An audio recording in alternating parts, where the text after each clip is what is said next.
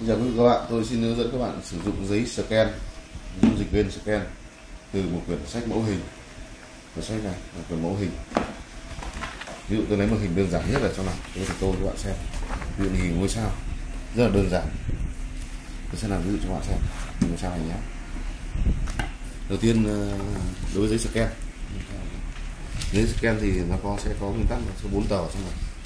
Tờ đầu tiên là tờ vàng để bảo vệ tờ thứ hai là tờ phía dưới đấy từ dưới lên.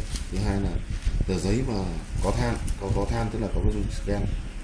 Ba là cái ờ, lớp bảo vệ của lớp tờ giấy. Khi chúng ta làm thì chúng ta sẽ bỏ cái lớp ở giữa này đi. Đấy, bỏ lớp ở giữa đi. Mình sẽ khẽ một cái rồi để rời ra.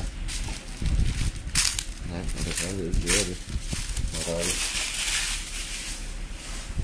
Sau đó các bạn úp cái tờ giấy này xuống thông thường scan có nhiều người vẫn hiểu lầm là phải viết ở trên mặt trên này nhưng không phải. Những hình như thế này bạn scan như thế này thì sẽ in lên đây luôn và sau bạn in vào tay. Làm sao đặt nguyên như thế này vào. Đặt thế này cố, cố gắng bạn đặt. Đặt làm sao để cho tờ tờ, tờ giấy nó không bị xê lệch. Bạn có thể đặt ở vị trí nào sao miễn sao tiết kiệm được đặt vị trí này. Đấy là sẽ đến đây không sao sẽ đến đây. Đặt vị trí này. Để tiết kiệm hơn. Sau này mình làm có thể những bộ số này mình có thể làm những hình khác nó gọn hơn. Để tôi cũng sao đơn giản nhé. Bạn nhìn tôi thôi. Một. Hai. Ba. Rất nhanh thì ngôi sao thì tôi rất là nhanh.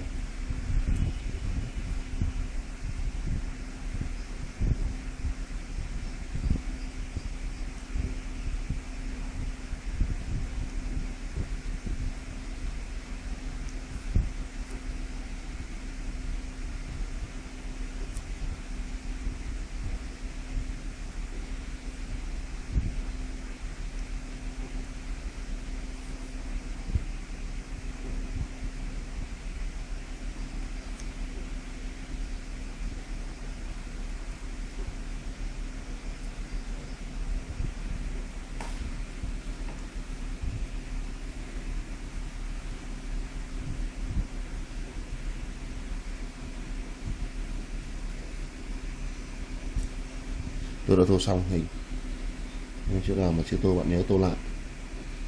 Bạn ấn tay mạnh một chút để cho nó nó in xuống tờ giấy thẳng thế này. Tô xong hoàn thành được kiểm tra. Hình xong đã các bạn trên tờ giấy này. Sẽ cắt phần này ra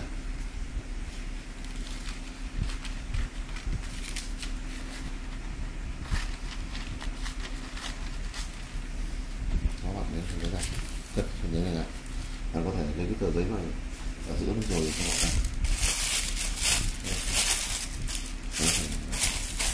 kẹp vào giữa này. Để giữ là nó nó tránh bị bị nhòe màu sang tập bên. Sao bạn kèm tiếp rồi Đây, tôi hướng dẫn bạn scan lên in lên tay. Ví dụ bạn muốn uh, sau trước khi bạn bạn bạn dán hình ken là bạn phải uống tê để chống đau những người mà sợ đau. Uống tê vào đây. Khu vực này. Lông lá bạn phải cạo sạch để xong tốt hơn.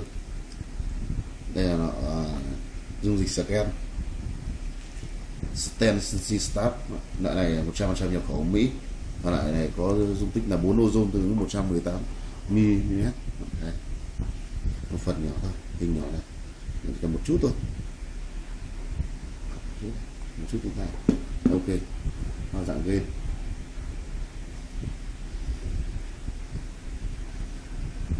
bạn có thể in rộng ra bạn